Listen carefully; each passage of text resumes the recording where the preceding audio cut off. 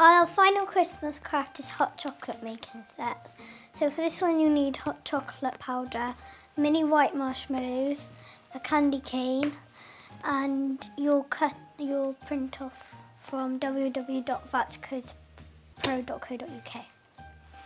The print off is a poem which says, I'm told that you've been good this year, always glad to hear it. With freezing weather drawing near, you'll need to warm the spirit. So here's a little snowman soup complete with stir and stick. Add hot water, sip it slow, it's sure to do the trick. So you cut about a quarter off your bag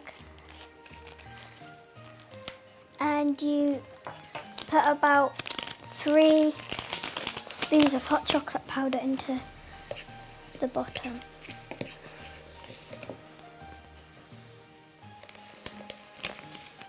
Then you need to get a handful of your, about a handful of your marshmallows and just put it in on top.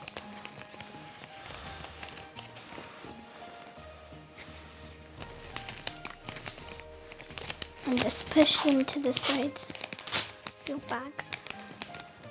Then you need to fold the top down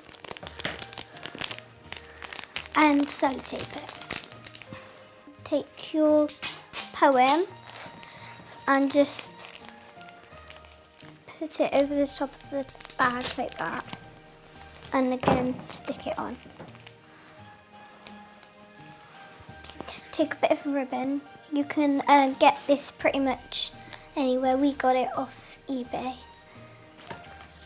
You tie um, a bow around your candy cane.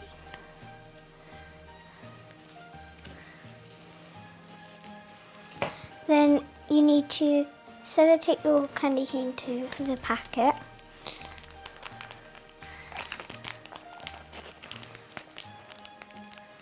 And you have your snowman soup.